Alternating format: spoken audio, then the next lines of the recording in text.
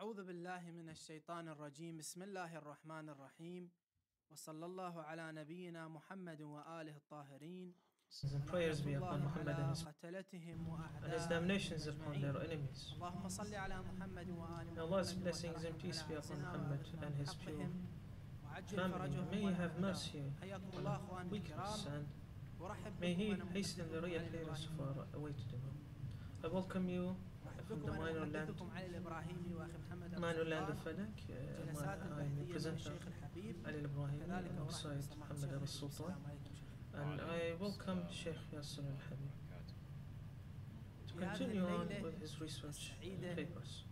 On this holy night, happy night, the day of Al-Ghadir, لماذا كان أحمد بن حنبل Listen and do not talk. يخاف من شرح Why did الغدير Hanbal ويقول fear اسكت uh, the narration from Ghadir? And he said, Be silent and do not talk. اسكت ولا تتكلم. هو عنوان هذه الجلسة. وإن شاء الله نستقبل الاتصالات والمداخلات. لكم أن تتصلوا وتشاركوا. والإتصالات بالدرجة الأولى مفتوحة لأبناء الطائفة البحثية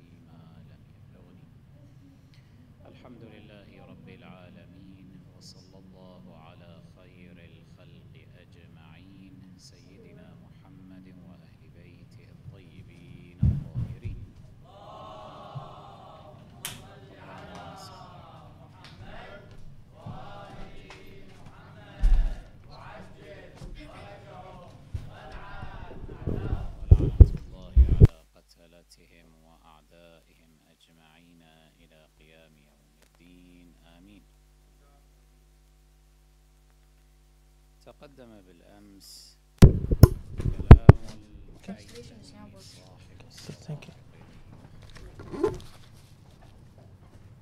حيث اعترف أولا We spoke in the past about, or previously about the narration of Al-Ghadir uh, and when which uh, it was confirmed uh, and declared authentic, including the addition.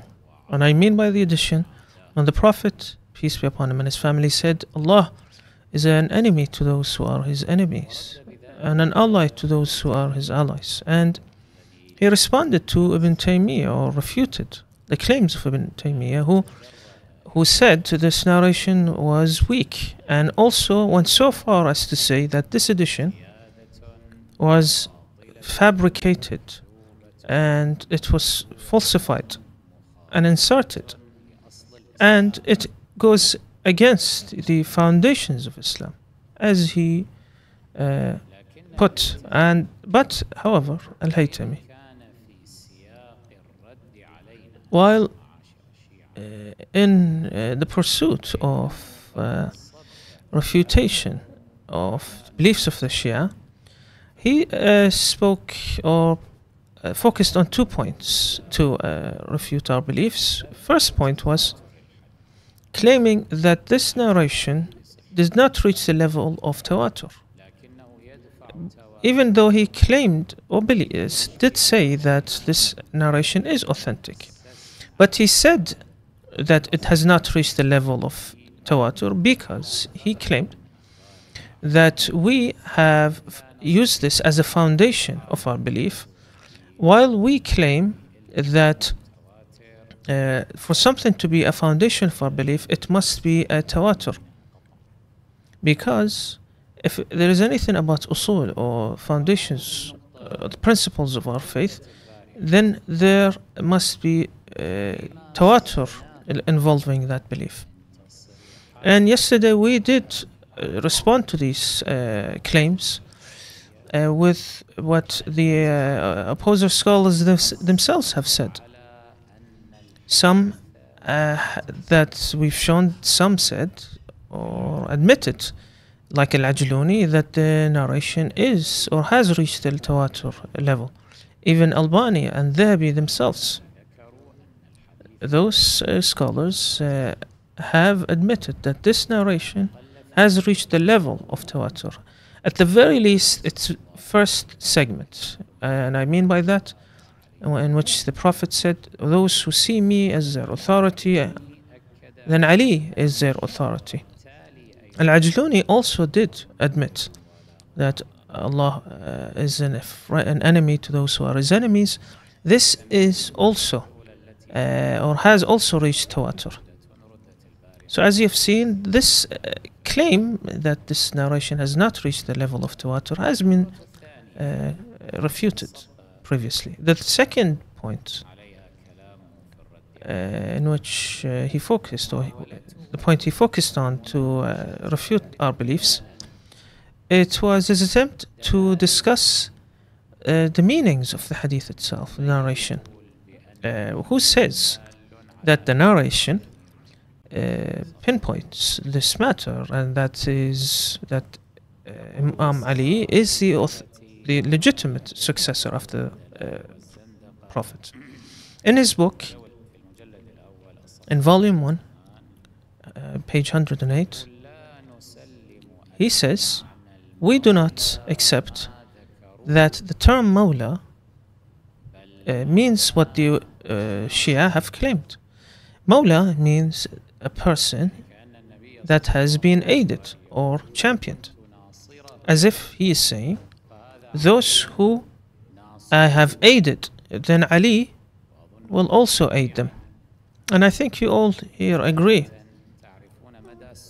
how uh, silly these statements are or these explanations are.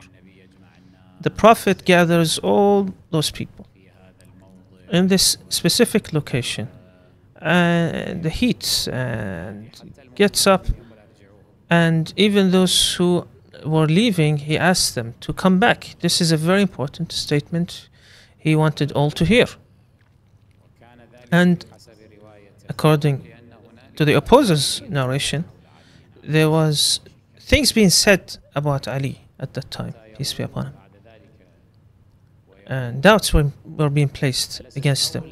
Then the prophet stood up peace be upon him and his family said do not, i not take prominence over the believers? They said yes and then he goes on to say those who have aided then uh, ali will aid it's not in the same context the context here was that uh, ali was being put in a place where he is now the target of uh, aid and uh, support, not the one who gives it. At any rate, uh, the author says because Al Mawla saying that it means Imam or successor, it was never seen that way, uh, not linguistically and not according to our Sharia laws. He denies that the term Mawla uh, means Imam, successor. Is not correct linguistically or based on Sharia laws. Uh, our response to this uh, statement is what does Imam actually mean? What is the purpose of being declared an Imam? Imam is someone who is uh, put in a position of leadership to lead. And it's surprising what Ibn Hajar al Haytami has said, uh, because this term was used in that context uh, linguistically and in accordance with Sharia laws. In terms of language, uh, in Lisan al Arab, uh, and the description of Wali and all uh, other uh, terms extracted of it, Al Farra said, Al Mawali are the people who inherit a man and his cousins. Also, he said, Wali, Mawla, is the same thing, uh, or had the same meaning in the tongue of the Arabs. And I put this underneath, uh, a line underneath this because it's important. I want to come back to it later. Wali and Mawla means the same thing uh, uh, when Arabs use it. Abu Mansur said, Our Master, the Messenger of Allah, peace be upon him and his family, has said, any woman that had in intercourse without the permission of the man who owned her, and some has said Mawla and some said Wali because they have the same meaning. It's a known narration that the opposers have in their own sources, and it was uh, re- reported two different ways, with the term Mawla or sometimes uh, with the permission of uh, Wali or the authority, and the authority upon her. Because they had the same meaning. Ibn Salam uh, narrated of Yunus, Al Mawla uh, had its place in the usage of the Arabs, uh, language usage of the Arabs. First, the Mawla in religion, the authority. And it is Allah's statement Allah is the authority of those who believe and the disbelievers have no authority upon them. And it is also the statements of the Prophet, peace be upon him and his family, who said, Those who I am their authority, Ali is their authority. Meaning, those who I led. Here, they try also to soften the impact of the term and trying to get out of the meaning that it refers to the uh, overarching authority of Islam. Uh, would that need a declaration by the Prophet, peace be upon him? At the very least, Ali is a Muslim. Of course, he, uh, uh, that, that statement the Prophet made in such a specific manner had a certain value to it that the Prophet, uh, it required the Prophet to make that statement and that declaration. Was there doubt that uh, Ali um, was was not any uh, did not deserve the aid and support or give aid and support of any other Muslim? If you said, if you doubted that the Prophet would have to take that stance and deliver a speech to declare that Ali is a Muslim, that you can take your faith from him, it means all those people were hypocrites and oppressors because they are claiming Ali was not a Muslim and that the Prophet had to make that declaration to confirm that he was a Muslim. Of course, this is unacceptable, an unacceptable explanation.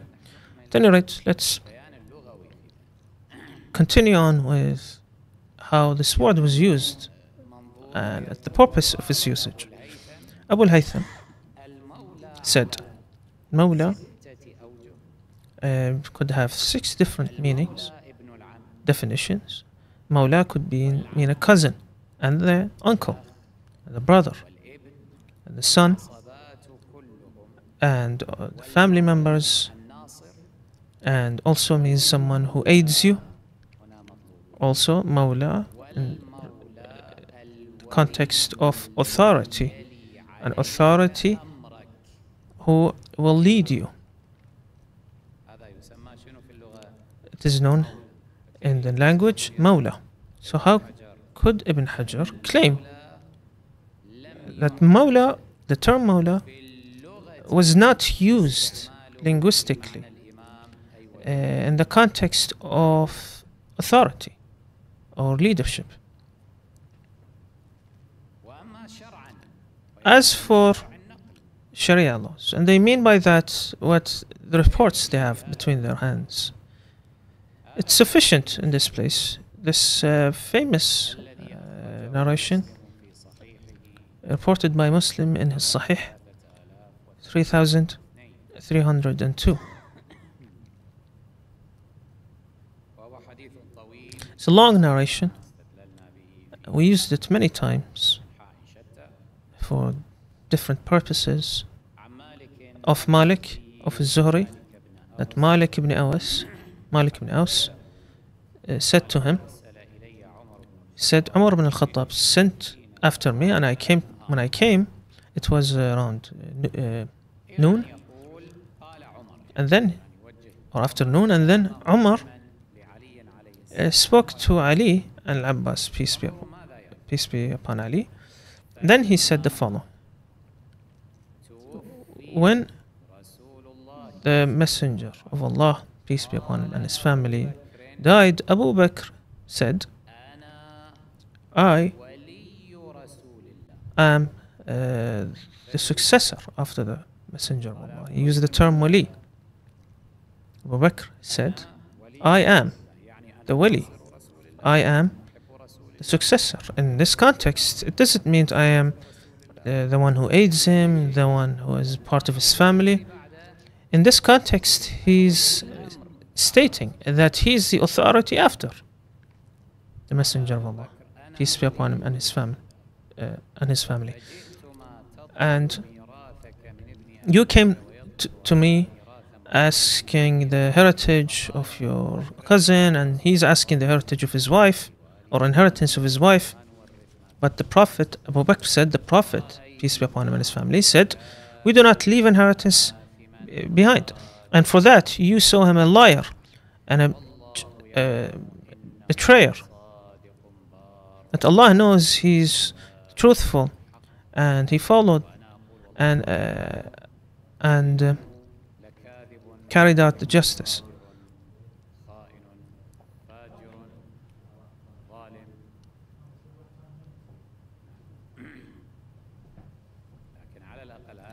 At any, at the very least, this is, of course, embarrassing for the opposers because the look they have, or the way Ali and Abbas ibn Muttalib saw uh, Abu Bakr, uh, he, they saw him as a liar, a sinner, and a treacherous person, and a corrupt person, and the narration is authentic. Then Abu Bakr died, and I, uh, in not to himself, Umar, and I am successor of the Prophet and Abu Bakr. What does he mean in this context? It's a reference to leadership. That is what he's referring to. And then you saw me, liar, sinner treacherous person, and Allah knows. I am truthful and I am on the good path, so on and so forth. So you've seen how, and the context in which wali was used, this term, uh, meaning leadership and authority. And this is what those who explained or did the sharh of Sahih Muslim. This was not only found in Sahih Muslim, by the way. But anyway, the those who uh, explained or did sharh of uh, Sahih Muslim, uh, um, Ibn al-Abbad, for example, Sunani Abu Dawood, same narration, 2963. And in that book, in Sunan Abu Dawood by Al-Abbad, volume 4, 300 and 49 and he said Abu Bakr. When he uh, took his place the place of the Prophet he said I am the wali of the Prophet successor. It, the, the meaning is very clear for everyone for everyone to understand. I am the wali of the Prophet peace be upon him after and I will do as I see fit with the money, the wealth he is left, as he himself has done in his life. Then Umar, uh, when Abu Bakr died, he took leadership uh, and he did uh, disseminate the, the wealth that he had or Abu Bakr had, uh, as Abu Bakr did and, and the Messenger of Allah did before him.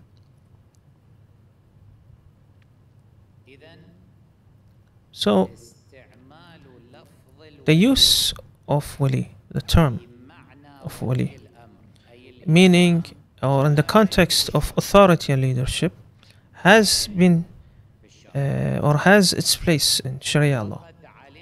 And there are examples of it. And we have also learned that based on language usage, that wali and mawla have the same meaning. Therefore,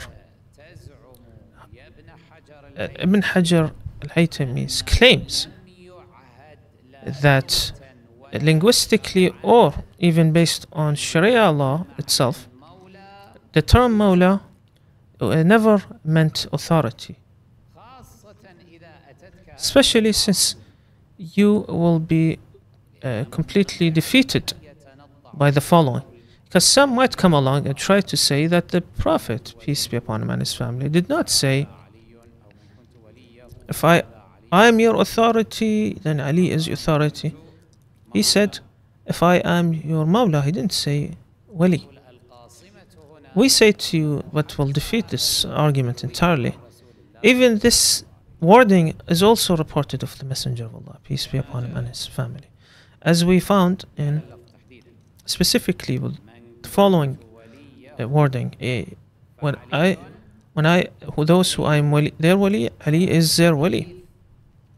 And this narration is authentic. Albani he admitted so in Sahih al-Jami' also Sha'ib al-Arnaut admitted that Al-Wadi'i admitted that it's authentic so on and so forth. As you see on the screen number 6500 and 34 those who I am their wali Ali is their wali. And he said commented sahih. So this term or this terminology was used in both in both ways. So after all this uh, the claim of uh, Hajar has been shown to be utterly false, saying that uh, Mawla or, uh, or Wali have never been used uh, linguistically or even based on Sharia laws and, and its reports that we have, used in the context of authority and leadership. If this is the state of your scholars, then you should really weep for yourselves. With all honesty, this is the extent of their knowledge. So, so easily deny something. Uh, that this term, for example, was not used uh, linguistically or uh, uh, based on Sharia law to mean authority when he has all this evidence in front of him, uh, like the Mu'jam al-Arab and, other and other uh, sources. Or uh, did he not know uh, all of these sources, or did he just completely try to avoid them because they are related to Ali, peace be upon them? Is it because they hate for Ali's uh, right to imama is confirmed uh, in any way or shape? So that's why we run in circles and try all we can uh, to take the meaning of Hadith al Ghadir, narration of al Ghadir, out of context and not in its uh, out of its own original purpose. Every person, sensible person, would know that in here the context was authority. Specifically, if you look at the uh, the way this narration or this report started, when the Prophet himself said, "Do I need, do I not take prominence? Am I uh, not uh, the most valuable to you?" Then, if that is the case, then Ali is your Mawla. Who is more valuable than you personally is the person who leads you and the authority atop you. No one is more important than yourself except the one whose position is more sensitive than yours. Uh, the, the first Mawla of Islam uh, uh, is the first Mawla is the Messenger of Allah, peace be upon him, and his family. And he himself said, Since I am your authority, and as I am your authority, then Ali is your authority. There is no other clearer terms or words the Prophet could have used. It is only the stubbornness of our opposers, and it is only their attempts to avoid the truth and uh, the complete denial of the truth. And uh, Believe me uh, when I say, if it was not the clear meaning of this narration, then the opposers, preachers, would not have been so sensitive uh, about uh, discussing the, the, the impacts uh, or the meanings of this narration. They don't want to even open the way to this uh, or to discussing this narration's meanings. And one of them is the Imam of the Salafis, Ahmad ibn Hanbal, may Allah's damnations be upon him. This man uh, directly when it came to the narration of Al Ghadir. He was asked, when he was asked about what, what it means and its purpose, he would become nervous and close that door to understanding this narration. And he would say, without shame, Leave this be. Be silent and do not talk. And this has been confirmed that did, Ahmed ibn Hanbal did actually make those statements. And it is a scandal. And the reason I say it's a scandal is because if you are truly a scholar, a, true expert of a field, it would not harm you when someone would come to you and ask you about something you're the expert of, the narrations of the Prophet, peace be upon him. Did he say things that we do not understand, we cannot comprehend? We have narrations of the Prophet, peace be upon him and his family. We don't want to understand what the words of this narration mean. We need to return to those who are experts, the scholars. You're one of them. But when we ask you, you uh, shut us up and tell us or order us not to speak about Hadith al Ghadir? What were you worried about? What do you fear that will be exposed? If the narration uh, was, or the meaning of the narration was something simple, as the opposers try to claim these days, say no, this narration doesn't mean imam or authority. It's simply all it's saying is that uh, Prophet saying he's uh, someone who loves or someone who supports those who love me, then Ali is someone they should love. That's all it meant. Yeah, we all love Ali. So this case is closed now. It's not what you imagine. If it truly was simple uh, and, easy as you claim, then why did Ahmad ibn Hanbal uh, reject or deny that question to be asked. What did he fear uh, when what he feared to be exposed? Uh, what Hadith al Ghadir would have revealed? You would ask me where, of course, this narration or this evidence exists that Ahmed bin Hanbal said, Do not speak. In Kitab al Sunnah, Ahmed bin al Khallal. 458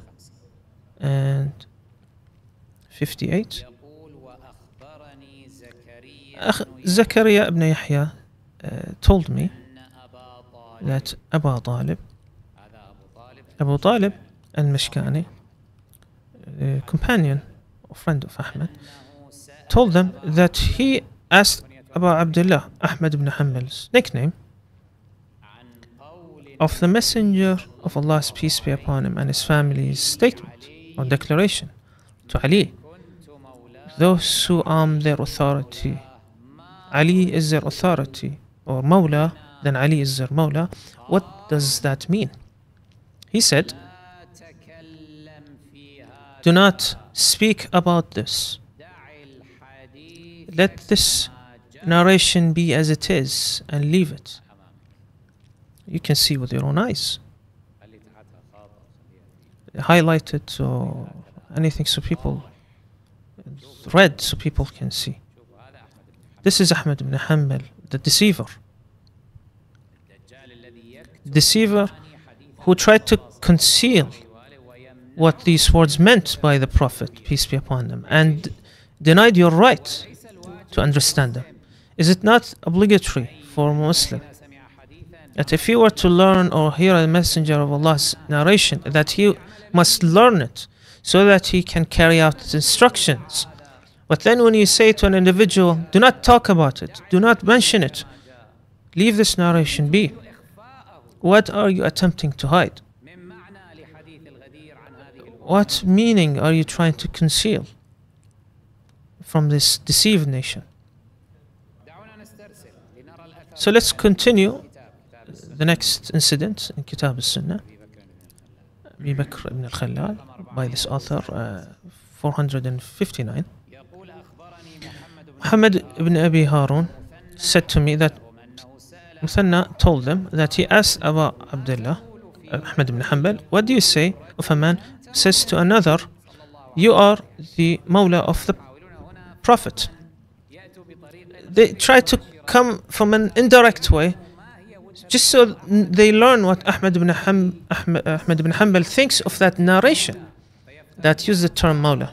So they made uh, this hypothetical example. Okay, you do not want to answer about or speak about the Hadith al Ghadir. But let's say, imagine a man come to another and he says to you, You are the Mawla of the Prophet. He, even that causes fear for him because he's afraid that it will, his answer will lead to an answer for the Hadith al Ghadir.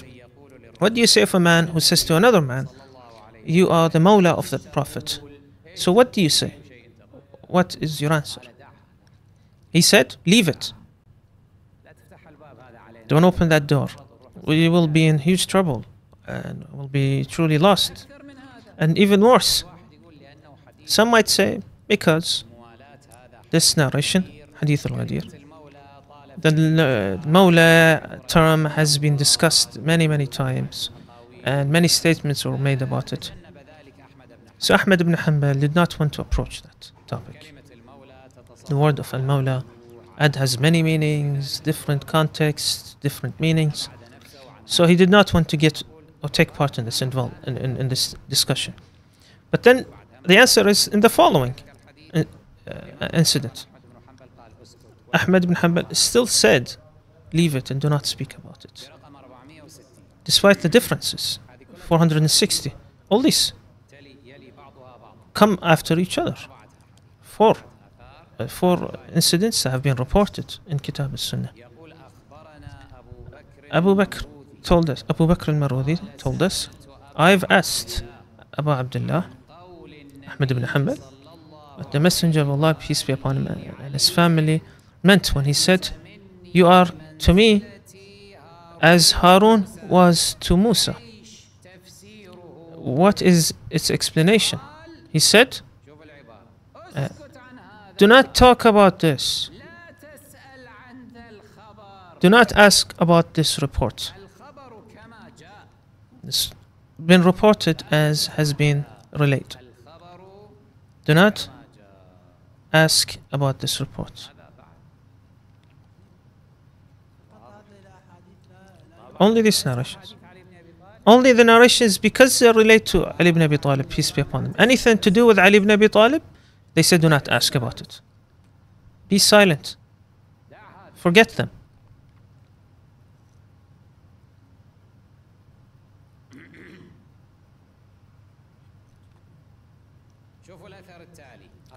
Next incident, 461. Same one we have uh, mentioned earlier, the first one, uh, but in a different way. Ahmed ibn Namatar, that Abu Talib said to them, said, I've asked Abu Abdullah of uh, what the Messenger of Allah, blessings and peace be upon him, meant when he said to Ali, those who uh, their Mawla, then Ali is their Mawla. What does that mean? He said, Do not talk about this and simply ignore or leave this narration as it was. Do not open the door to this discussion. And all of these things are sahih, authentic. If you could actually uh, show on the screen as a comment. So anyone who tries to deny these things happened, that Ahmed did not say, no, it is all authentic. Ahmed did say those things. It was declared as authentic. 458, for example, the first um, report we mentioned. 400 and okay, the next page says its chain of transmission is authentic. 460 as well.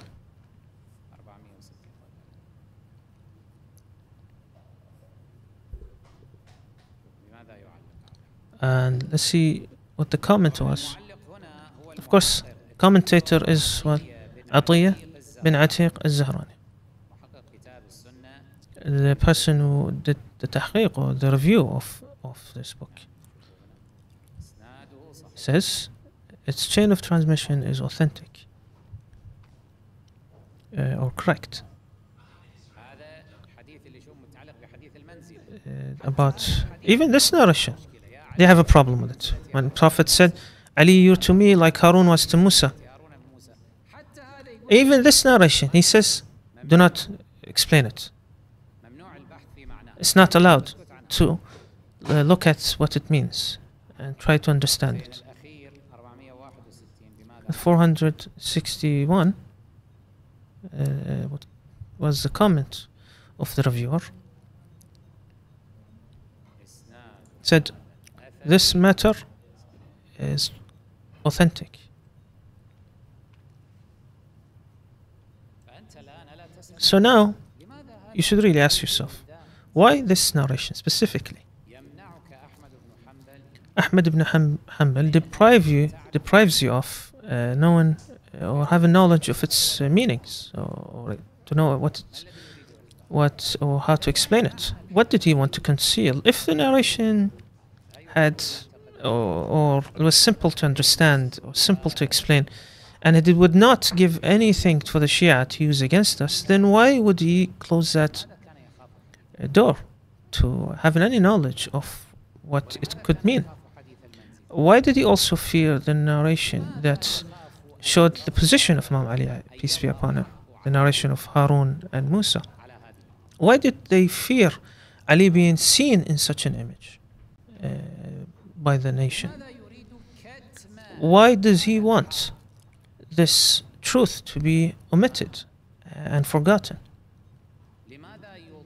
Why does he uh, act in a similar manner to what the people or the followers of the books or the Abrahamic religions, of the concealments they've committed those who conceal what Allah has revealed in His book and use it to make uh, money or uh, little money with, they eat or they are only eating hell in their stomachs.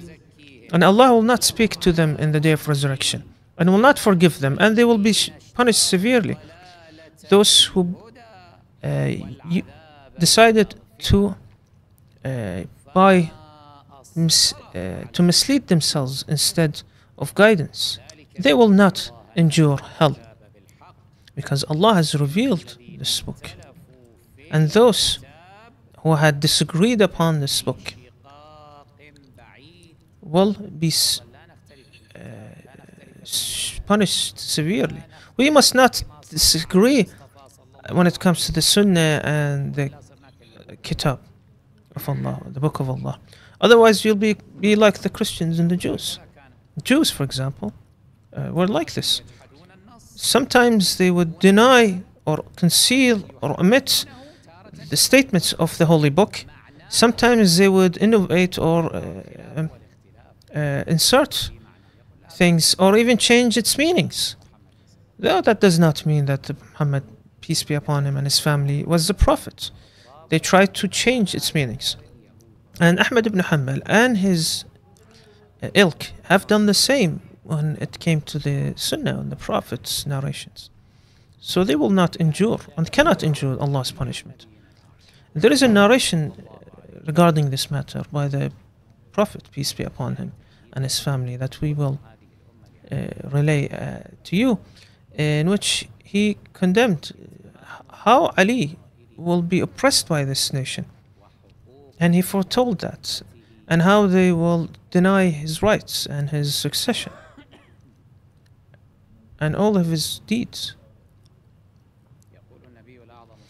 The greatest messenger of Allah, peace be upon him, and, his family, as Ibn Abbas has reported of him in Mashariq Anwar al Yaqeen,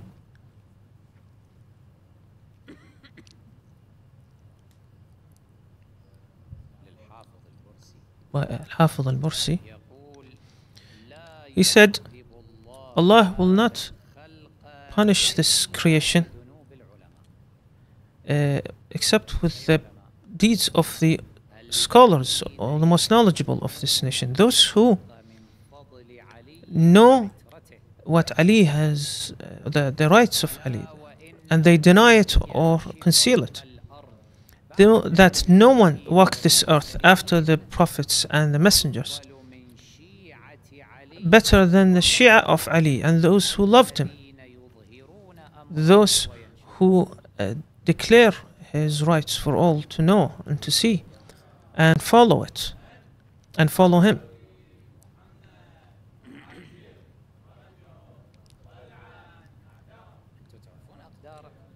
Do you know your value in the eyes of Allah, uh, the, in the eyes of the Messenger of Allah, peace be upon him and his family.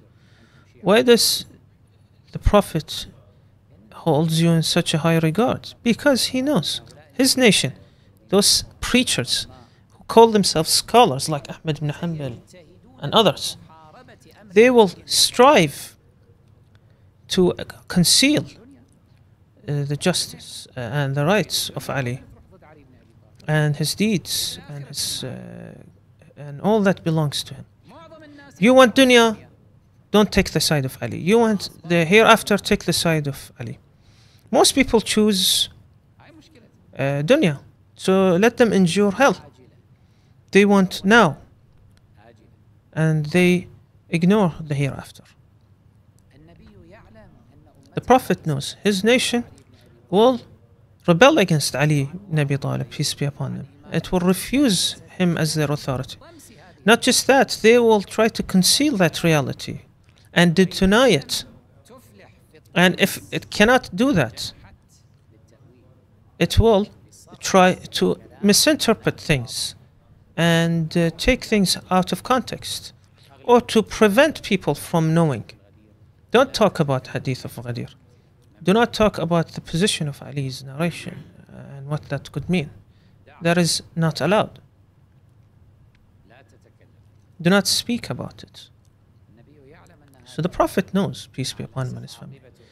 This will be the, the consequence of the actions of this nation, except a few loyal followers who do all they can to uh, reveal to the world that Ali is the man to follow and that he's the true leader of this faith after the Prophet. Allah will punish this nation with the deeds of the scholars that conceal the truth about Ali and his family, peace be upon them. No one walked on this earth after the messengers, of the prophets, better than the followers and the Shia of Ali and those who loved him, those who made make public and declare the rights of Ali to everyone. Allah will have mercy upon them and the angels will ask Allah to forgive them.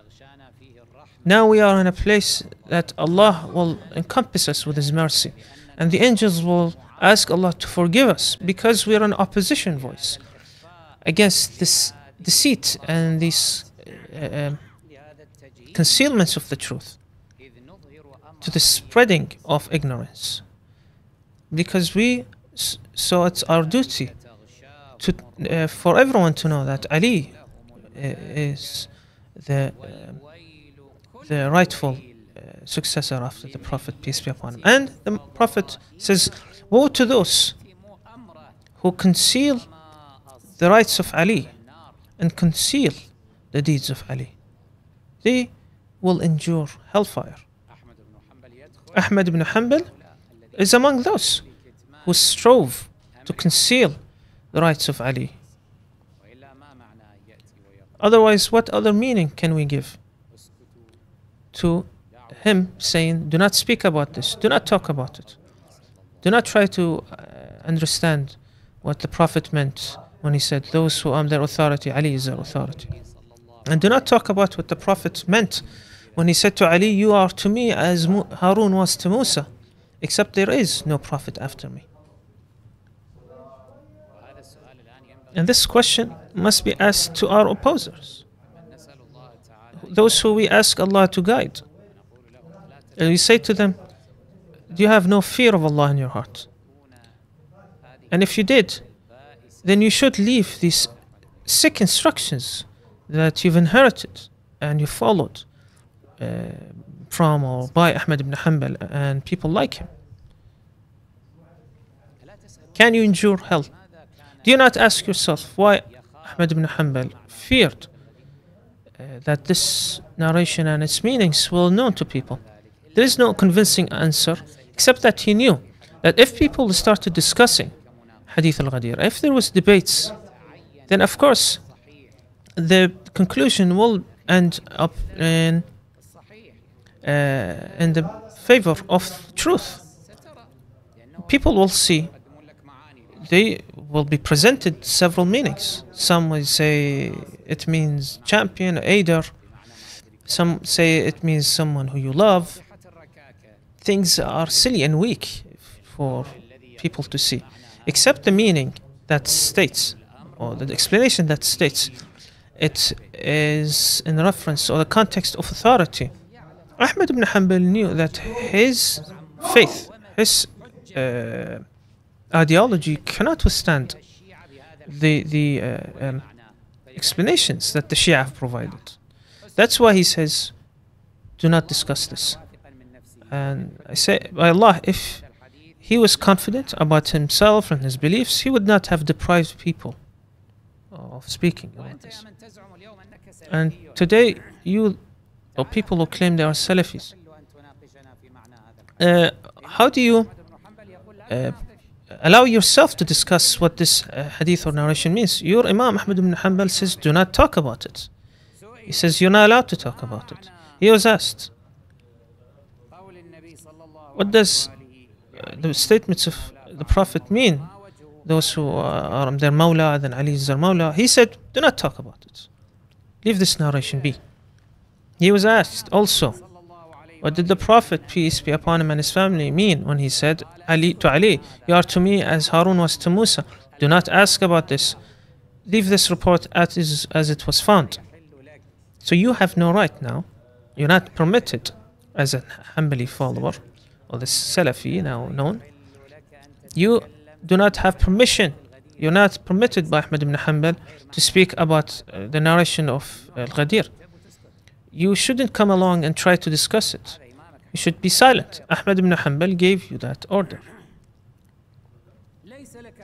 You have no right to say that it means supporter or someone who you love.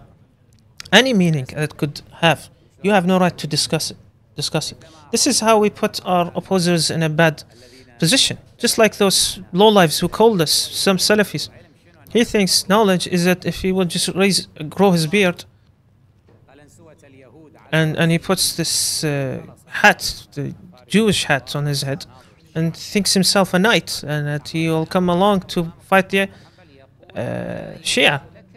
We embarrassed him by saying that your Imam Ahmad ibn Hanbal said you cannot debate the Shia. Do not say uh, with that I am trying to uh, show the truth or anything. All the Salaf in the past, they uh, said it's not permitted to talk about the deviant sects. Uh, of course, they say or claim we are deviant and we are at the heads of this deviancy. So if the de- debate in a Shia is haram, of course, it is not permitted in any form or shape. But those low lives who call, like that person who called, he said, that Moroccan person, he said, he said, I know our, our fatwas and edicts more than you, my, our scholars fatwa, but then we do not see this. Uh, the opposite. When I saw you, the, I showed him the fatwas and the edicts. He, he didn't have an answer. He doesn't know what's in his books. No, I know more about your books and your scholars than you do. You are all low lives, valueless people who don't know anything about your own faith. It requires me to teach you. And another said something uh, funny actually. Uh, it made me laugh. And he said, the fatwa changes in time uh, because of ch- time changes and place changes. This rule he claimed. Where did he come from where did it come from? Ahmad ibn Hanbal and others from the Salaf did not make this condition. And also on top of that, who gave you the edict? Even the modern day scholars, and I, have also reported uh, or relayed them uh, when I was debating that Maghribi deceiver, Adil Attaf. Even the modern Salafi scholars said it is not permitted. So who gave you permission? you are a child, still a baby, and you say, no, fatwa change in time, based on time and location. Who gave you that fatwa? Give me a fatwa from one of your prominent scholars who gives you permission uh, to debate with us. Otherwise, you have committed a great sin. Unless you would go along and say, I will give myself a fatwa, an edict, then you will uh, become your own scholar now you're on the same level of Ahmed ibn Hanbal, Ahmed ibn Hanbal and his the level, the same level of scholars. Truly, those children have grown. They, they have now reached a level that they can issue edicts for themselves. And you're so small. You're just tiny. So we embarrass them with this, of course. You maybe uh, now someone would to speak and try to discuss or talk about what Al Ghadir means. Anyone who calls, anyone, if you allow the calls now of an opposer, and say, no, Hadith Al Ghadir is something else, not what you have uh, established, or it doesn't mean authority, it means something else. And say, now with your call, you have committed uh, two sins. One, you're talking about Hadith Al Ghadir, but you're Imam Ahmad ibn Hanbal said, not permitted. Do not speak about this. This narration, you, it must not be discussed. You remain silent. But you're talking now about it. So you're going against the edicts issued by your Imam. At another level is that you're also debating us. Ahmad ibn Hanbal said it is not permitted to debate Shia and Rafida and deviant sects, so on and so forth. So what's left for you?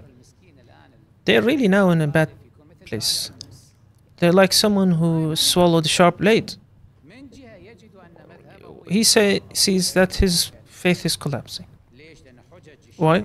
Because Shia strike strikes are very pow powerful. A, a, hydrogen bomb and a nuclear bomb and so on and so forth. Like strike after strike that leaves nothing for this faith left standing.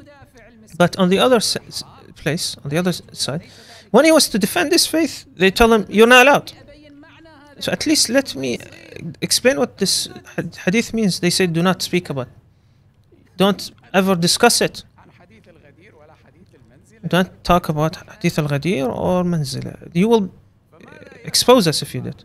So, what can an opposer do in this situation? Uh, they're really poor, honestly. Uh, thank you, Sheikh. May Allah bless you. Uh, and what you have said, Sheikh, the Sheikh al-Saduq has said in a narration of Ahmad ibn Hanbal, who said, Sunni is not truly a Sunni if he does not hate Ali even a little. And what you've seen today uh, is confirmation of what Sheikh Saduq has said. Uh, even if they have not reported it in their sources. But when you look at the history of this man, Ahmed ibn Hanbal, that his, his heart, he harbored hate to Ali, peace be upon him. Otherwise, he had no reason to deprive people of even asking a question. Asking a question about what the Prophet meant with his words. What did he mean? I want to understand that that is not permitted. But why? So that truth is not revealed. That Ali, peace be upon him, is an imam, the rightful imam of all Muslims. Uh, you cannot hide these things. If you want to find out the truth, it will, uh, the rightful position of Ali will never be omitted or concealed from him. They will see it clearly. Despite all their attempts to do it, they still remain. And we still have them today. And they will, one by one, will be revealed. And that's just a little of what has been or has reached us. I remind you, you can call, participate, and, respond to this question. First, why does Ahmed ibn Hanbal instructs his students to not ask about what uh, if I was their Mawla, Ali is their Mawla. We want to know the reason. It's, it is not like the, the narrations of Sifat, uh, the qualities of Allah that they say do not speak about them, try to understand them, so on and so forth. The other is Ahmad ibn Hanbal said do not try to find out what it means even. So why do you even call us and try to make or have these discussions with us? We have a call from Muhammad from Morocco. Peace be upon you. Brother Muhammad, why did Ahmed ibn Hanbal instruct his students not to ask about what Hadith al-Ghadir or narration of Ghadir means? Dear sir, I say, after asking Allah's blessings and peace and prayers upon Muhammad and his family, and I uh, wish to send my regards to you and Sheikh Al Habib. Dear brother, these are reported of these people, and there are many examples of them Ahmed ibn Hanbal and others. These people, brother,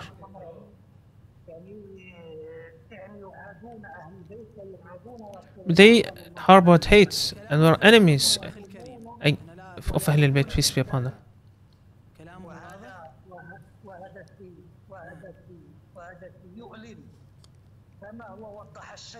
As Sheikh has described, I, I say to you that Allah, glory be to Him, is a witness to everything and truth was revealed. I will try to summarize my words.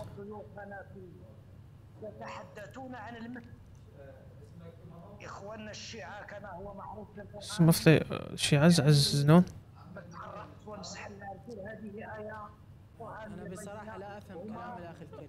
Um, I honestly cannot understand what Sheikh, the, the, apologies, the brother is saying. I do not understand your words. I apologize. I, I apologize I, ask him to forgive me. Uh, Brother as Hussein, he said good things, but I apologize, I can't understand what you're saying, even yesterday. So if you could, uh, be, uh, or if you're able to have calls, so we can understand. And we have a call now from uh, Brother Muhammad from Switzerland. Peace be upon him.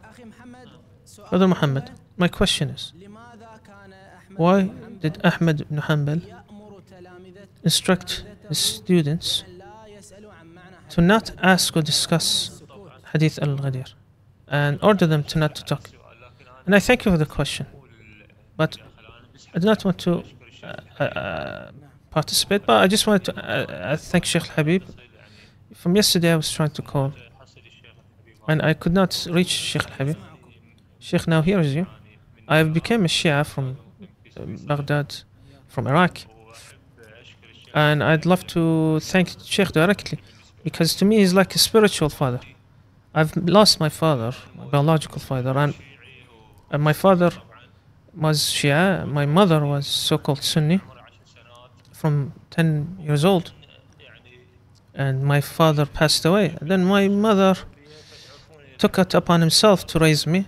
And as you know, our beliefs are instilled upon us by our families. So I was raised with the so-called Sunni faith, despite the fact that my father was Shia. And I would be it was necessary that I uh, would remain Shia. From 2020, I was watching Sheikh Habib and his videos and others, like by uh, other channels, and it had an impact on me. It had a massive impact on me. So I wanted to continue my research. And then I uh, seen Lady uh, Zahra, peace be upon her, film, The Lady of Heaven. And that uh, left even bigger impact on me. And, and, and I left so-called Sunnism and became a Shia and became a follower of Imam Ali, peace be upon him. And this is with the blessing of Allah and blessings of the Sheikh. And I don't want anything except to say or send my regards to Sheikh because I think he, I owe him much. And I ask Allah that he, as a servant of Zahra, peace be upon her, to be uh, given a place alongside her in heaven. Despite my mother being a so-called Sunni, she is very ex- an extremist. My mother, fortunately, and she is. Uh, despite that, I've lived in a so-called Sunni environment. My family is from Al Jabur tribe. Anyone who says we love Ahlul Bayt, they're lying. They're all lying. The so-called Sunnah, when they claim we love Ahlul Bayt, we love Ali, we love Fatima, they are lying. They are lying. They have Umar and Aisha as uh, highest examples. I've lived as a Sunni, and this is my testimony. They have Umar, Allah forbid, to them, he's more sacred than the Messenger of Allah, peace be upon him and his family. And I do not want to take more of your time. I just want to thank Sheikh Habib because he's like my spiritual father. Sheikh Yasser Habib, I thank you very much. And I consider you my spiritual father. And our youth, those who lost their fathers, uh, their youth, to me, you're my father. And I, you are my, uh, for me, you bring me honor.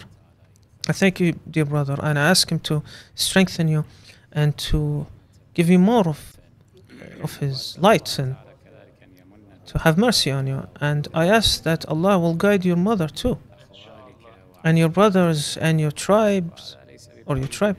And this is not uh, something that's hard to imagine. You should do your best, and Allah will guide you and will support you. And you, we, we are honored by you, brother. Brother, do you want to declare your sh Shahada? I want to start with Sheikh because his words a, are a blessing. Sheikh is with you now, and he will recite, uh, you can recite alongside him shahada. Say all the blessings of Allah, testify there is no, there is no God but Allah. Uh, and there is uh, no associate alongside Him. And that is, there is nothing equal to Him, and there is nothing similar.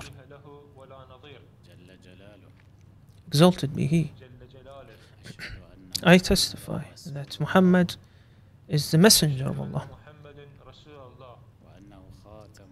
that he is the last of the messengers and the prophets,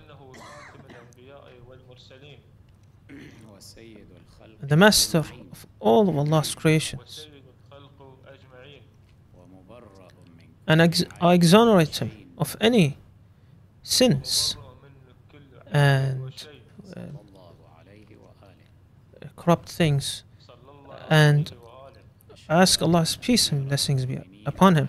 I testify that Ali is the commander of the believers, peace be upon him.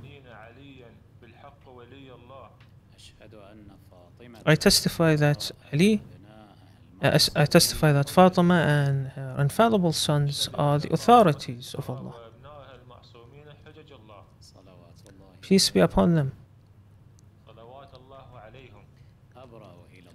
I dissociate to Allah of أبو بكر عن عمر عن عثمان عن عائشة عن حفصة and all other enemies of أهل enemies of أهل البيت peace be upon them I testify that Abu Bakr and Umar and Uthman and Aisha and Hafsa are in hell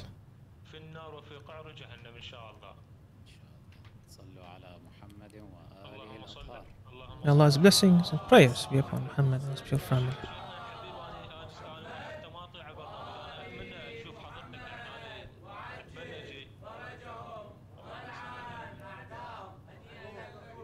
Congratulations, dear brother.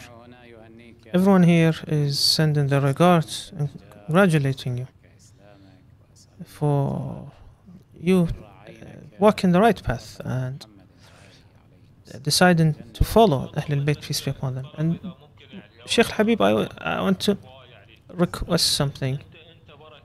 You, I see you as a father and a blessing. Ask, I want to ask you to pray for my mother, that Allah will guide her. Allah bless you. Thank you, dear brother. Uh, and may Allah reward you congratulate you for your return to your original faith, the faith of your father who passed away when, while you were a child. And it only shows, it goes to show that your pure origins, brother, that you would return to Ahlul Bayt, peace be upon them, after all this time. I remind you, brothers, that you make call and uh, we give priority to the opposers, especially those who are the followers of Ahmed ibn Hanbal and we want them to answer this question. Why did Ahmed ibn Hanbal instruct his students uh, not to talk about Hadith al Ghadir? Why did he fear or was what what worried him about explaining what Hadith al Ghadir meant? We want to know the reasons. If this narration, Hadith al Ghadir, does not, or its meanings does not support what the Shia have said that Ali is the successor of the Messenger of Allah and the true authority. And the proof is that what uh, the Prophet has said in Ghadir Khum. Then, if that was not the case, why did Ahmad ibn Hanbal instruct his students not to talk about this? Not talk about what it means. Sheikh, as he said, this is proof that uh, strengthens what the Shia have uh, or believe in when they said Ali is the authority, the successor after the Messenger of Allah, peace be upon him and his family. Numbers, uh, as you can see on the screen, you may call. Uh, now still on live, and if you have scholars uh, that you can call and take part, or if you would like to send something, uh, audio, video recorded. Sheikh, I tried uh, to find out what Ahmed bin Hanbal wants to say or what was his point? If those narrated the support, what was his point of point of view? Why did he give those instructions? We know as a shia because he did not want people to know the matter of ali peace be upon them. Are there explanations others have made. Based on my own research they have not given any excuse or justifications for this. The justifications are clear. He is worried. He's afraid of what this narration uh, could do and what it can uh, lead to and that it will lead to Ali, peace be upon him, being shown as the rightful successor, the authority of this nation. At any rate, this narration causes such anxiety to Ahmad ibn Hanbal. Uh, the hadith of Ghadir and hadith of Manzila, the position of Ali, peace be upon him, in the eyes of the Prophet, peace be upon him and his family. And that's why he was so sensitive towards this. Uh, and he would not even want to, people to talk about it, uh, not to talk about it at all. As for them, as the students, those who followed him, they did not give an explanation, except I'd say some of them, as I can remember or recall. Um, and some of these aqidah books, creed books that talk about sifat or other things. Since Ahmed talked about something or made such statements that are similar to this, that we should not talk about the sifat or the qualities of Allah. They put this report by the statements of Ahmed ibn Hanbal and put it alongside those as if they are from the same uh, location or same purpose. That it is not permitted to talk about the meanings of this hadith or narration. So Sheikh now, we're, we're talking about sifat. We, we leave them as they are, close our minds and do not talk about what they mean or could mean, as they claim, of course in when it comes to sifat. But this has nothing to do about the sifat, like the qualities of Allah. But why did they put that with that alongside it? And that's why you say as an answer. That is something that is to be used against them. It shows the weakness and inability that they are not capable of uh, answering uh, or responding pr- with proof against proof. Shia have strong proof, but they they don't have strong proof. And because Ahmad ibn Hanbal and his followers know their proof, so-called proof, is weak, no matter how much they had tried to debate the Shia, and no matter what they've said to the Shia, any debates they've taken part into or want to take part into, any meaning they want to establish, they will fail at the uh, in the end. So the best solution is to ease our minds and prevent people from talking about it. We have a call from Abdul Hamid from Algeria. Peace be upon you. Peace be upon you. Peace be upon you and his blessings. Blessings of Allah. Why did why did Ahmed ibn Hanbal order students not to talk about Hadith al-Ghadir? I have two points, uh, a few points I want to talk about them. First, as long as it's in topic, I've been watching from beginning of this uh, session. Ahmed ibn Hanbal, he's not afraid about what uh, Hadith al-Ghadir, because he ta talked about it in Musnad. Second, Hadith al-Ghadir does not does not prove uh, that uh, Ali ibn Abi Talib was an imam. So why did Ahmad ibn Hanbal order his students not to talk about this narration and not discuss what it means?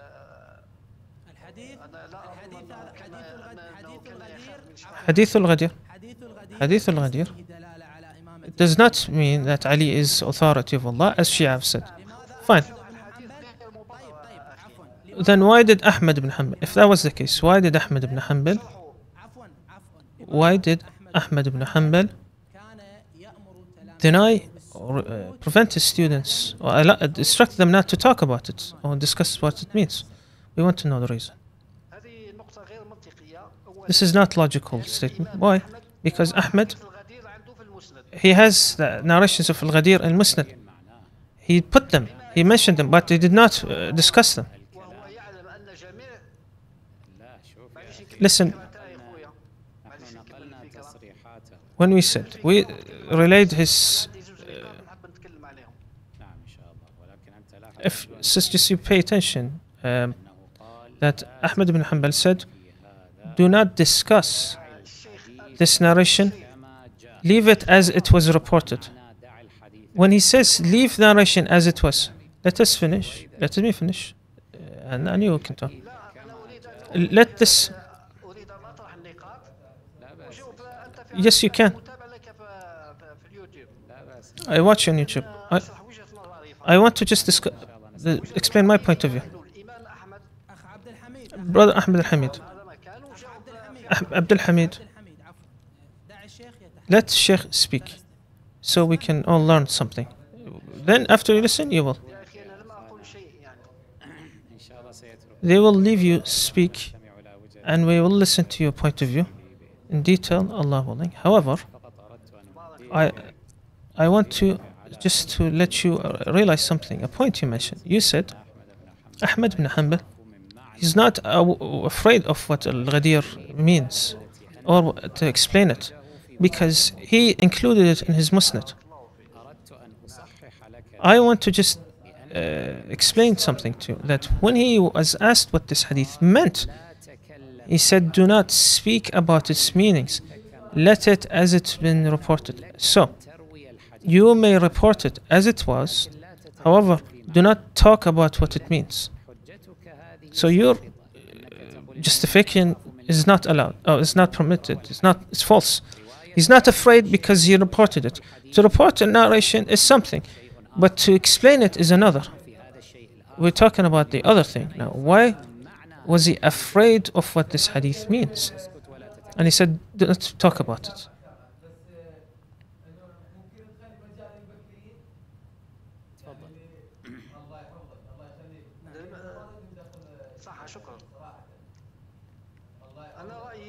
I, my opinion, my opinion is,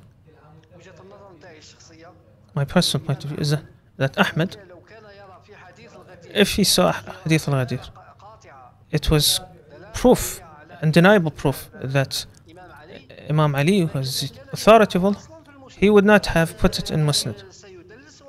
He would have done tadlis and omitted this narration or or other ways or reported in wrong ways, so it is not there. The other is, I want to talk about Hadith al-Ghadir. We are not talking about what Hadith al-Ghadir means. The, the session was not held for this reason. The title of this session is Why does he instructs his followers? If he only speaks, you want to mean what Hadith Ghadir means? Sheikh was speaking this as a side note, not if we confirmed. By the way, you did not answer Sheikh's question. He said to you, uh, to report a narration is something, and to explain it is something else. He, he narrated and he said, leave it as it was. He said, do not explain it.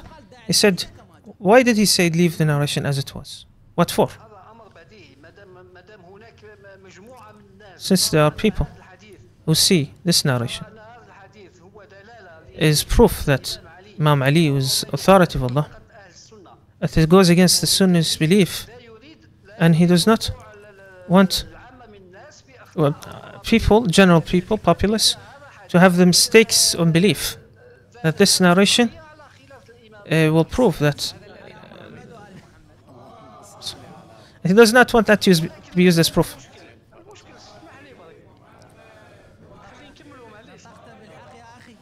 Now you said the truth, brother. This is what we want. Allah be praised. What you say? Uh, Ahmed bin Hanbal is confirming his weakness. I'm searching for the truth. I'm not an extremist. If it's confirmed to me that Hadith Ghadir is proof that it is about uh, the authority of Ali, then I would follow him. But Hadith al Ghadir is not proof. If you continue to research, if you allow us, just a simple question now. Do you accept what do you accept Ahmed bin Hanbal when he said it's not permitted to talk about Ahmed uh, Hadith al or not? Do you, I go against it. I I do not accept that. Why? Because his point was back then is because he don't want people to fall into tribulation. But he allows it this time. He allows it now, but not in the past. It's clear. If you do against, go against him, that's good. If you do go against his instructions, do not follow him blindly, then that's Allah willing, a good start. Allah. We will listen to you, no, uh, no problem. I just want to see my opinion. I'm hearing you. Um, I don't want. I don't want to be famous or anything. I just want to give my opinion, and uh, you can give your. Maybe you can convince me uh, with your opinion. If it's your uh, people to become Shia, that's good. If you want to become Shia, what's your goal? I want them to become Shia. If that's the case, then let me uh, put forward my opinion. And if you want to respond to me, then let us see. And if heard something convinces me, I'll follow it. Allah willing. Go ahead. What I say is that Hadith al-Ghadi, it was in Dhul Hijjah. And the Messenger of Allah, blessings and peace be upon him, is martyred in Rabi al or according to you, at the end of Safar, 28th of Safar between Hadith al-Ghadir and the Messenger of Allah's passing, peace be upon him, at least two or three months, or two months and a half, or three months. And the Messenger of Allah, peace be upon him, his family, when he declared the Hadith of al-Ghadir, he was healthy. He would uh, has his mule. He would be able to ride his mule. He was in a good he was in good health, the messenger of Allah at that time, peace be upon him and his family. When he got sick, and that sickness that killed him, and he knew, he knew that this is a sickness that will take his life. Why did uh, Imam Ali, peace be upon him, what did not take his position when the Prophet could not stand and he forced himself to get up and become the Imam of people or lead them in prayer? And why did Imam Ali himself, peace be upon him, did not take it upon himself without waiting for Prophet? Since the Prophet was in bed, Ali ibn Abi Talib, peace be upon him, would carry out the or succession uh, uh, duties. I did not see the Prophet, peace be upon him, chose someone as a successor. It was simply uh, has nothing to do with leadership authorities and others like this. Peace be upon you, brother, and thank you. It's surprising for me, strange for me what this brother has said. It seems like he is the type of person who does research. And it was very good for me, or good when I heard that he said, I go against what Ahmed ibn Hanbal says. It's a good thing and a step forward.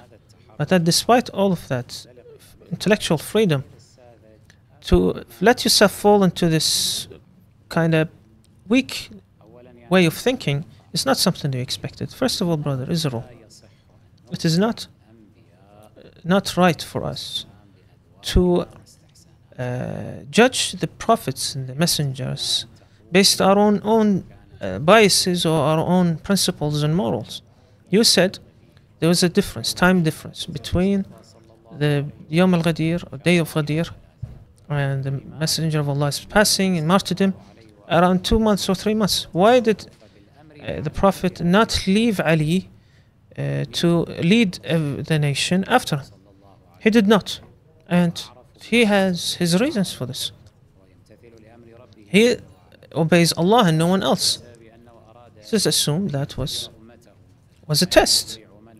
Who obeys him and who does not obey him? It is not our job to question these things.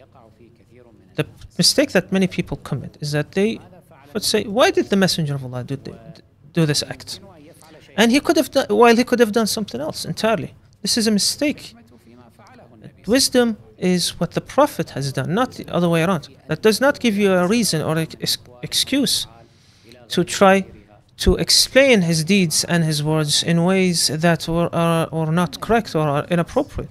The Prophet, peace be upon him, and his family said, Those who are their authority, Ali is their authority. Allah is an ally to those who are his allies and an enemy to those who are his enemies. Champion, aid those who aid him and disgrace those who betray him. And another statements, other saying, other statements as well, making these declarations. This is all sufficient. Then you say to me, you come no, I don't accept this meaning or, or this uh, proof because I have these assumptions in my head. Saying like, what if the Prophet, then what, why, did, why did the Prophet not give him or make him an imam in his life? Why did he not order him to lead the prayer? As the, some of the ignorant opposers said, why did the Prophet not declare that in Yom Al-Arafah instead? It is not our duty. It is his duty. He obeys Allah and he makes those instructions based on the will of Allah in specific places and times as Allah has instructed him. And he makes these revelations. Then we put ourselves in a position where we have the right to uh, decide for the Prophet what he should say and what he shouldn't what he should do and what he shouldn't do. And this is uh, uh, really unethical behavior towards the Prophet and an insult towards him. And also, who said to you that uh, the Prophet did not actually use Ali uh, or put him in his place? If you looked at history, uh, at in history, every position that the Messenger of Allah, peace be upon him, and his family was unable to carry out a certain uh, duty in terms of uh, that were uh, regarding rulership and leadership, he would have put Ali in his place, even at the end of his life. And Ali also led people in prayer. But what can we do if you thought reality and history and the sunnah of the Prophet, it, it all comes from Aisha bint Abi Bakr. You under, are the, under the illusion. The truth that cannot be denied that the Messenger of Allah, peace be upon him and his family, uh, installed or uh, ordered that Ali, um, that Abu Bakr, or lead people in the prayer. Why? Because the narration of Aisha. She is the one who made that claim. That the Prophet, peace be upon him and his family, instruct Abu Bakr to um, lead people in prayer. And ignoring the fact that Aisha is a liar. And also that the reality uh, shows, historical uh, records show that she was lying. If uh, the Prophet instructed Abu Bakr to become the one to lead his prayer, why did he force himself to get up and remove Abu Bakr and then he lead himself, lead the prayer himself? You do not criticize your narrations. That's the issue. We criticize our narrations. You think we accept every narration, even if it's authentic? We do not. Some of our narrations are authentic in terms of change of transmission, and it's because we have rules, we reject them.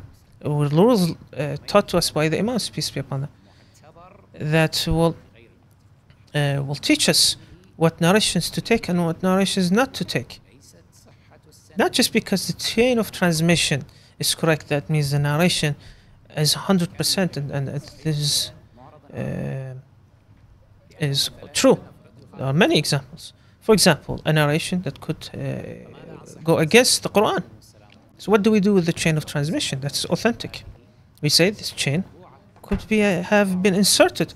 Those who fabricate narrations can also fabricate authentic chains of transitions. He could put men who are trustworthy in the chain of transmission. So we uh, are under the illusion later when we find this narration that is authentic. But then we will look at the content of this narration, we see that it goes entirely against the Quran. As an example. And how many weak narrations on the other hand? It's a weak in terms of its chain. But we accept it and we take take it. Uh, why? Because it agrees with Quran, agrees with what's known of the Sunnah and the rules established and taught to us by the Imams, peace be upon them. If you want to research these golden rules by the pure uh, family of the Prophet, peace be upon him and his family, you could uh, watch our series about uh, our Hawza lessons for uh, the science of narration. So, uh, these are the Shia uh, scholars. We are critical people. We don't close our minds and freeze our intellect in such a way that any narration we have, we do not criticize it. We don't have that practice, but you do have that practice, unfortunately. You have a narration in Al Bukhari of his men, of Aisha. That's it. You see that this was a fact and it can never be doubted. And this, what you used, is was among the things that Aisha tricked you with. You imagine, you imagine that the Prophet, blessings and peace be upon him, uh, led uh, or instructed that Abu Bakr leads people in prayer in his sickness, not the other way around. It's not the case. If you did actually look or had a critical eye towards history, you would have known that's not the case. And that in every situation and uh, important circumstances, he would take over the Messenger of Allah uh, under the instructions of the Messenger of Allah, peace be upon him and his family. Why do you not ask yourself? Aisha herself reported. He said, Call uh, my beloved to me. I called Abu Bakr. He looked at him, he looked away. Then Hafsa called for Omar. Then when Prophet looked at him, he looked away. Then they started looking at each other, Abu Bakr and Umar. Said, if the Prophet wanted anything from us, he would have spoken. Then they went along on their way until Ali was called. Peace be upon him. And the Prophet called for him. These were the last days of his life. What was the reason that Ali would be called specifically and the Prophet, peace be upon him, would give him those duties? What did the Prophet say to him, peace be upon him and his family? He said, Ali, this nation will rebel against you. If you found enough men, 40 men, then wage war against them. If not, then remain patient until you meet me. And this is what Ali ibn Abi Talib, peace be upon them, has done. That's because you have not read history uh, and the seerah of the Prophet as the sons of Ali have kept. You'd think or you imagine that Ali never asked for his rights. Ali, after the Messenger of Allah, peace be upon him, and his family's martyrdom, he declared himself as the successor and he asked people to follow him. And Al Ghadir was used, and Ali and Fatima went to the homes of the Muslims. And then 360 people came later and gave their allegiance to Ali, peace be upon him. They gave their allegiance after the Saqifa incident, after the coup. And then he said to them, You are truthful with your allegiance? They said, yes. Then come to me tomorrow, tomorrow having shaved your heads. This is a sign that uh, they are ready to go into battle because this is a coup and this is an oppressive regime. And only four came the next day. And then Ali had no choice uh, but to blame them. Say, You did not even obey me when I order you to shave your heads. So, how will you even obey me when faced with the mountains of iron?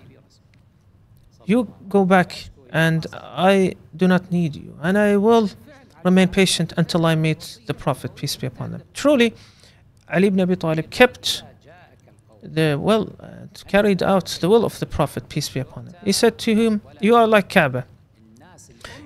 People must come to you, you do not go to them. The nation must submit to him. He must not force himself upon them. There is no force uh, uh, uh upon people in this uh, faith. If they heard you and obeyed and came to you after out of their own volition, then you may fight. Otherwise, then you cannot. When did this uh, become a reality? 25 years later.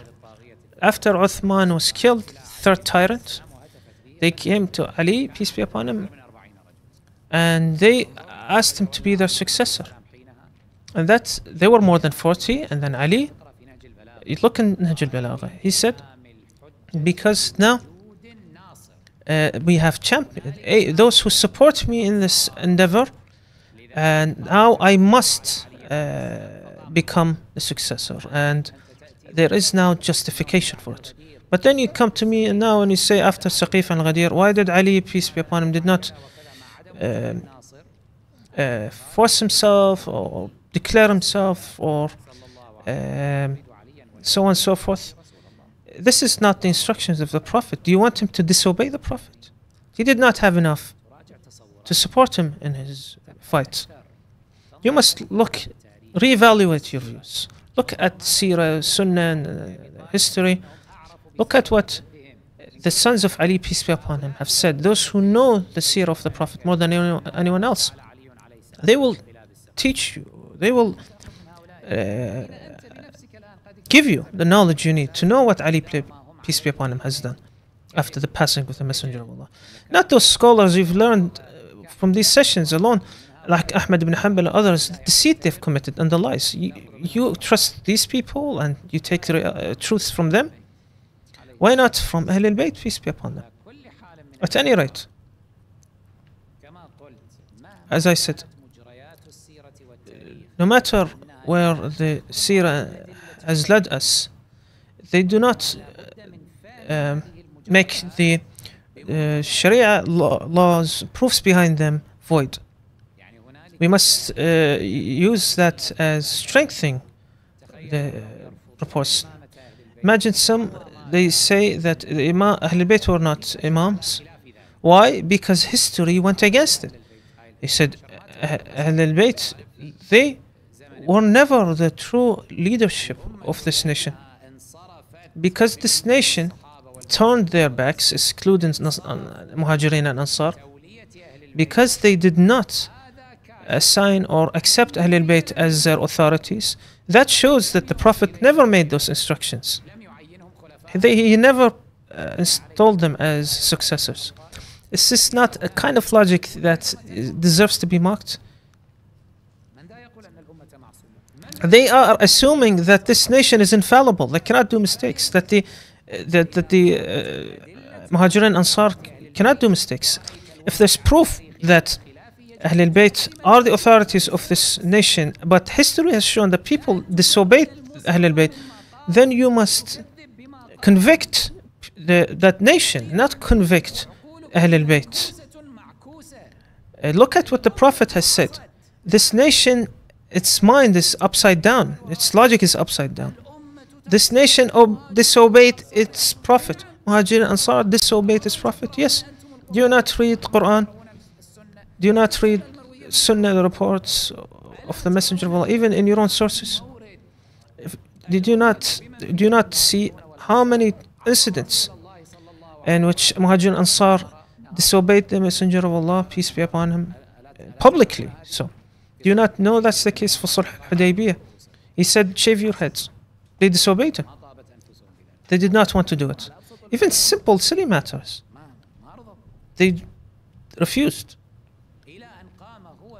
Until he himself, peace be upon him, stood up and shaved his head, and then they followed suit. In one of his raids, he said, Do not fast. But they fasted, in spite of what he said. And then he called them disobedient followers. Al Muhajirun Ansar that disobeyed the Prophet. He said that. Even things that are simple, ordinary matters.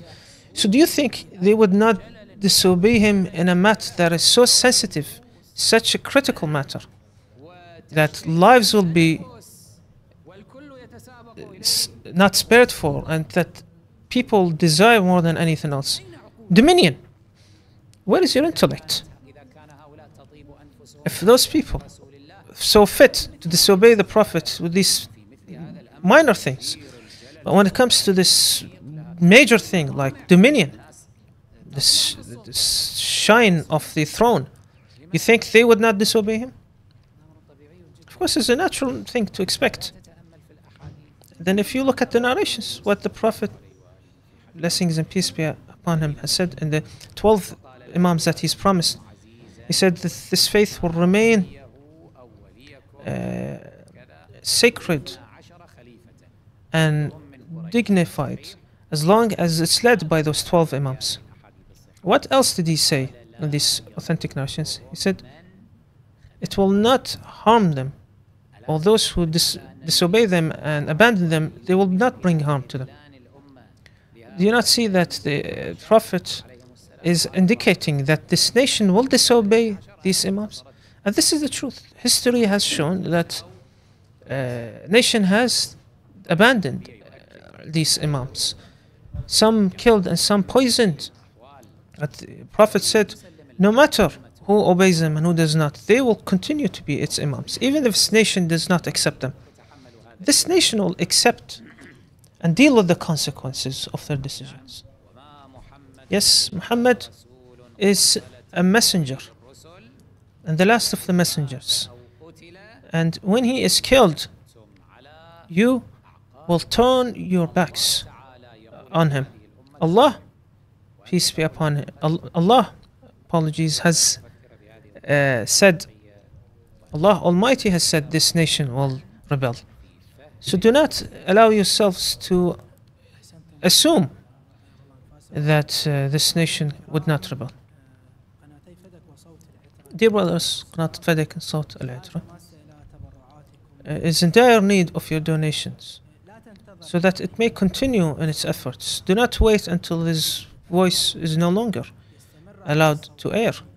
We need your donations so that it will continue on uh, and providing you with uh, what is needed. All these projects that are led by the Mahdi Servants Union, and we are close to Muharram, the month of mourning uh, on Imam Hussein, peace be upon him, the master of martyrs.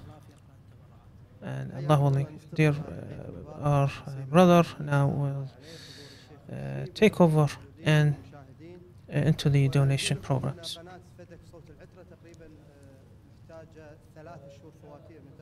And I can say to you, brothers, now that our channels is behind uh, in three months.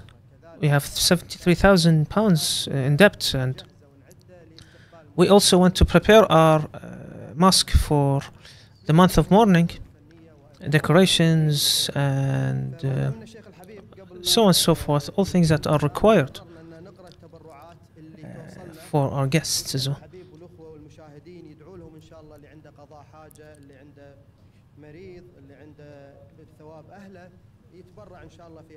And if there's you have any needs uh, and any prayers, uh, is a blessing for you, and may Allah accept your prayers with your donations.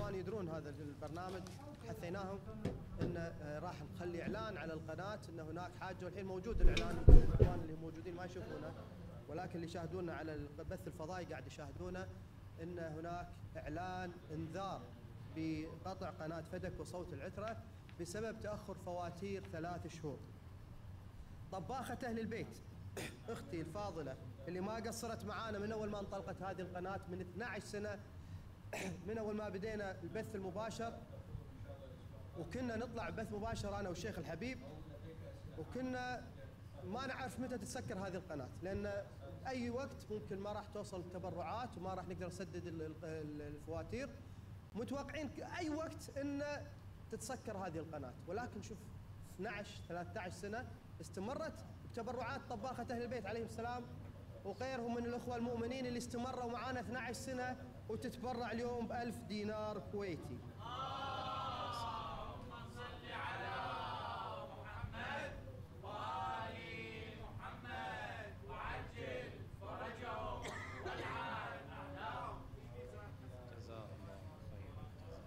قصرت الله يقضي حوائجكم. شيخنا ادعي لها. اليوم وصلت التبرع وأنا هم كنت أطبخ في لإعداد ال- الطعام فهي زميلتي في خدمة أهل البيت سلام الله عليهم. عبد الله الزاهر تعرفونه عبد الله الزاهر وعدنان الزاهر وهذه العائلة الكريمة عائلة الزاهر ونعم بأهل العوامية. يقولون كل عام وأنتم بخير وثبتنا الله وإياكم على ولاية أمير المؤمنين وولده المعصومين والبراءة من أعدائهم.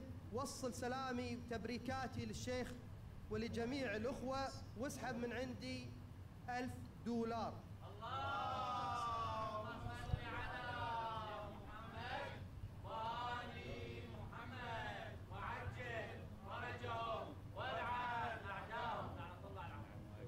أمت فاطمة من الكويت 150 دين د- 150 باوند تسألكم الدعاء لقضاء الحوائج. عندي آه، أخت عندنا أختي أم سارة من السويد 1300 كورونا سويدي. أخوي العزيز حسين السادة 200 ريال. محمدي يسألكم الدعاء لقضاء الحوائج.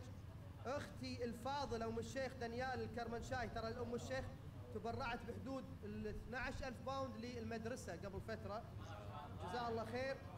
وتتبرع باستمرار واليوم جاها تبرع جديد. هي دائما تتكلم الاخوات من الدنمارك.